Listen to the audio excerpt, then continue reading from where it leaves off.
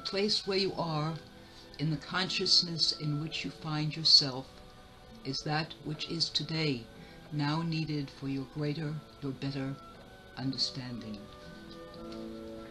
One of the disciples of a Jewish rabbi came to him one day and asked the rabbi to teach him how to prepare his soul for service to God.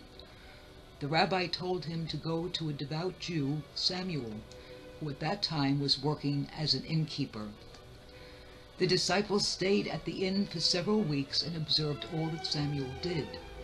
He did not see any particular holiness in Samuel from the time Samuel said morning prayers until he said his evening prayers. The disciple only observed a man devoting himself to his business. Finally, the day before the disciple left, he asked Samuel, What do you do all day? Samuel answered, My most important job is to clean the dishes thoroughly so that no food is left on them, and to wash and dry the pots and pans properly, so that they do not rust. The disciple returned to his rabbi and told him what he had seen and heard. The rabbi said to him, You have the answer to your question.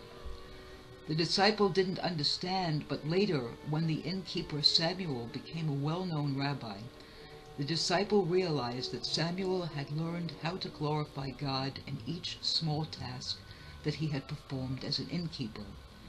This had prepared him to find the glory of God in each task which he or anyone else did.